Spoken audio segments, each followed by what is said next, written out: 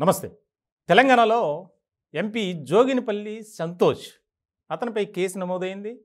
ముఖ్యంగా బంజారా హిల్స్లో కోట్లాది రూపాయల విలువైనటువంటి భూమిని ఆక్రమించుకున్నారు అని ఓ సంస్థ ప్రతినిధి ఇచ్చినటువంటి కంప్లైంట్ను బేస్ చేసుకున్నారు బంజారా హిల్స్ పోలీసులు.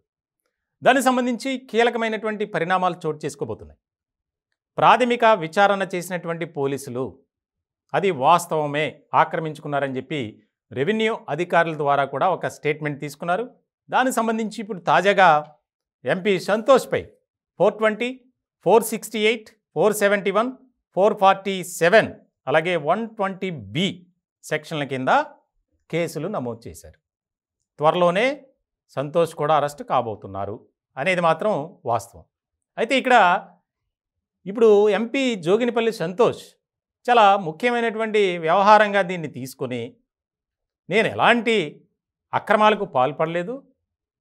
నేను ఎటువంటి ఫోర్జరీ చేయలేదు. నేను న్యాయబద్ధంగానే వ్యవహరించాను. అంటే ఆక్రమించుకోవడంలో కూడా న్యాయబద్ధమేమో మరి. నేను డబ్బులు పెట్టి కొనుక్కున్నానని చెప్పి ఇప్పుడు చెబుతూ జనాల్ని పిచ్చోళ్ళని చేయడానికి ప్రయత్నం చేస్తున్నాను. దీనికి సంబంధించి ఇప్పటికే అది వాస్తవం ఆక్రమించుకున్నారు అని చెప్పి రెవెన్యూ అధికారులు ఇచ్చినటువంటి స్టేట్మెంట్ని బేస్ చేసుకొని అలాగే ఆ కంపెనీకి సంబంధించినటువంటి ప్రతినిధి ఎవరైతే మాధవ్ ఆ వ్యక్తి ఉన్నాడు. అతను ఇచ్చినటువంటి ఫిర్యాదుని బేస్ చేసుకుని విచారించారు కేసులు నమోదు చేశారు. ఒక ఇన్వెస్టిగేషన్ నడుస్తుంది. ఇలాంటి క్రమంలో నేను ఎలాంటి అక్రమాలకు పాల్పడలేదు. నేను సక్రమంగానే చేశాను అని చెప్పి బయటకు వచ్చి నేను న్యాయ పోరాటం చేస్తా ఆ పోరాటం చేస్తా ఈ పోరాటం చేస్తా అని చెప్పి ప్రగల్భాలు పలుకుతున్నాడు దీనికి సంబంధించి ఆసక్తికరమైనటువంటి చర్చ జరుగుతుంది తెలంగాణలో. అంటే గులాబీ పార్టీలో ఉన్నటువంటి ముఖ్యమైనటువంటి నేతలు భూ ఆక్రమణలకు కానీ కబ్జాలకు ఏ స్థాయిలో రెచ్చిపోయారనేది మనం అర్థం చేసుకోవాలి. ఇప్పటివరకు కొంతమంది ముఖ్య నేతలే మనం చూసాం. కార్పొరేటర్లు జిల్లా స్థాయి నాయకులే ఆక్రమించుకున్నారు అనేది చూసాం.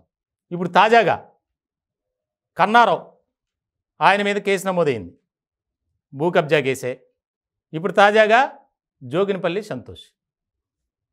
అంటే అధికారాన్ని అడ్డు పెట్టుకొని ఏ రకమైనటువంటి అక్రమాలకు అడ్డగోలుగా వ్యవహరించారనేది మనం స్పష్టంగా అర్థం చేసుకోవాలి. పోలీసులు క్లియర్గా చెప్తున్నారు. రెవెన్యూ అధికారులు వారు ఇచ్చినటువంటి ఆ యొక్క రిపోర్ట్ ఏదైతే ఉందో నివేదిక దాన్ని బేస్ చేసుకొని క్షేత్రస్థాయిలో పరిశీలించిన తర్వాత విచారణ జరిపిన తర్వాత సంతోష్పై కేసులు నమోదు చేశారు. అవును వాస్తవమే. ఆ సర్వే నెంబర్లో భూమిని ఆక్రమించుకోవడానికి ప్రయత్నాలు చేశారు ఆక్రమించుకున్నారు. కొంత భూమి విషయంలో ఫోర్జరీ డాక్యుమెంట్స్తో చేసేసారని ఈయనేమంటాడు? నేను డబ్బు పెట్టి కొనుక్కున్నా కావాలంటే వాళ్ళ దగ్గరికి వెళ్ళి ఎంక్వైరీ చేయండి రకరకాలుగా మాట్లాడుతున్నాడు. నేను కోర్టు ద్వారా న్యాయ పోరాటం చేస్తా అని చెప్పి. ఇప్పుడు చేసేవన్నీ అవినీతి పనులు. తర్వాత దాన్ని కప్పిపుచ్చుకోవడానికి ఒక అబద్ధం వెనుక వంద అబద్ధాలు. ఒకదానికొకటి ఒకదానికొకటి ఒకదానికొకటి. ఇప్పుడు తాజాగా ఈ జోగినిపల్లి సంతోష్ వ్యవహారంపై నిఘా పెట్టింది పోలీస్ డిపార్ట్మెంట్. అలాగే ముఖ్యంగా దీనికి సంబంధించినటువంటి ఆదేశాలు కూడా జారీ చేశారు ముఖ్యమంత్రి రేవంత్ రెడ్డి గారు. ప్రైవేటు భూములను కానీ ఆక్రమించుకున్న వారిని ఎవరిని కూడా వదలొద్దు అని చెప్పడంతో ఇప్పుడు దాదాపు వెయ్యికి పైగా కేసులు నమోదైనవి తెలంగాణలో. ఇటీవల మనం చూసాం ఒక్క కరీంనగర్ ఉమ్మడి కరీంనగర్ జిల్లాలో అయితే దాదాపు మూడు వందల యాభై కేసులు. అందరూ కూడా ఈ బీఆర్ఎస్ పార్టీకి చెందినటువంటి నాయకులే. కొంతమంది మంత్రుల అనుచరులు ఉన్నారు. వారి దగ్గర తిరిగేటువంటి బిల్డప్ గ్యాంగ్ అంతా ఉంది.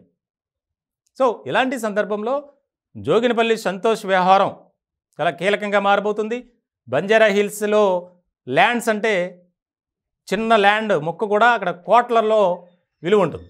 ఇలాంటి సందర్భంలో చాలా సీరియస్గా తీసుకున్నారు ఈ వ్యవహారాన్ని. ఎవరైతే ఎంపీస్ జోగినపల్లి సంతోష్ ఆక్రమించుకున్నటువంటి భూమి తాలూకు ఆధారాలన్నీ సేకరించారు.